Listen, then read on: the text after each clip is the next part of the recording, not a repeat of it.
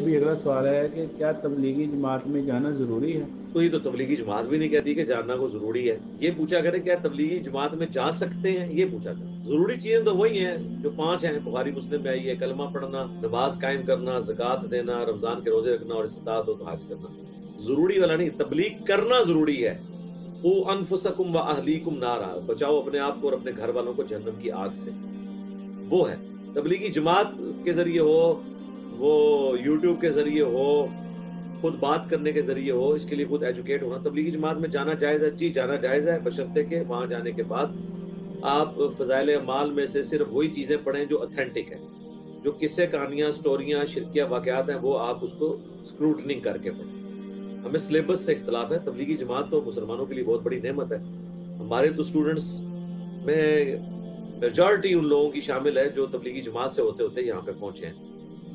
India की जो तबलीगी जमात है, वो रायविंड वाली पाकिस्तान की तबलीगी जमात से बेहतर है। तो 2015 में आपको पता ना, दो पार्टियाँ बन गई है ना इनकी। सौ साल भी पूरे नहीं निकाले इन्होंने। 89 ईयर्स के बाद इसमें दराड़ आ गई है।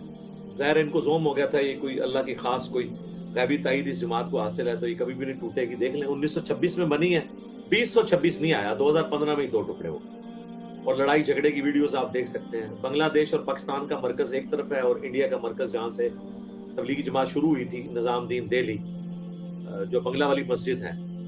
अब वहाँ पे देख लें, उनकी औलाद में से साद कानवी साहब, लेकिन अल्लाह ने उनको हदायत इस हवाले से दी कि फजाइल माल उन्होंने बंद करवा दी उन्हें पता चल गया कि ये कहानियों की किताब है। हालाँकि उनके बड़ों की लिखी हुई किताब है। तो अल्लाह का शुक्र है, तब्दीली आ रही है, वक्त के साथ साथ चीज़ें समझ आ रही है। तो जाए नहीं जहाँ जहाँ भी मुसलमानों की जमातें हैं, उनमें अच्छाई में उनका साथ है, बुराई में लग रहे। और मेरी दलील वही हदीस है, सही बुखारी सिक्स नाइनटी फाइव हज़रत उस्मान से लोगों ने पूछा कि हमारे इमाम तो आप हैं, लेकिन मस्जिद पे फितने के इमाम का कब्जा है जो इन्होंने आपको भी मसूर कर दिया मस्जिद तक जाना आपका मुहाल कर मुहाल कर दिया तो क्या हम नमाज़ इनके पीछे पढ़ लें? उन्होंने कहा, नेकी के कामों में इनका साथ दो, बुराई में इनसे लग लो तबलीगी जमात के लिए भी हम यही कहेंगे कि अच्छा काम है, काम में साथ दें, बाकी कहानी बाजियों में उनसे अलग रहें।